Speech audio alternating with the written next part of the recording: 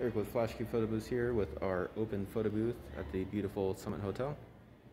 Got the silver sequin backdrop that's super popular on this one. Guests walk in, step up near the curtain, I tap the screen, get it going for them. get a preview on the screen with a countdown, five second countdown is typical. Afterwards, you get a five second review of your excellent work on the screen. This happens with every photo. I have to remind my guests to look up at the camera.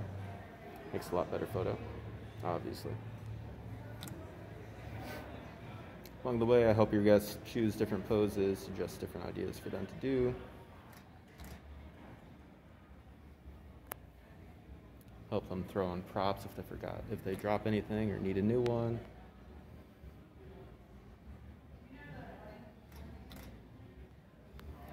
Once the fourth one is done, again, you get your uh, preview, but then it goes to the screen with what will eventually print out.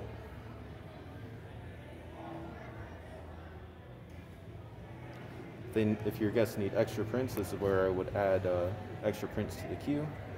After about seven seconds, it goes back to the start screen for your guests to uh, for the next round to go. Takes about 20 seconds to print. Here's a pretty typical prop spread. Swing around for a better view.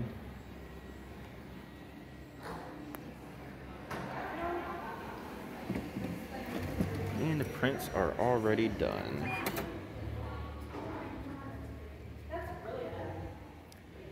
Again, Eric Ridenour, Flash Cube Photo Booth with our open photo booth.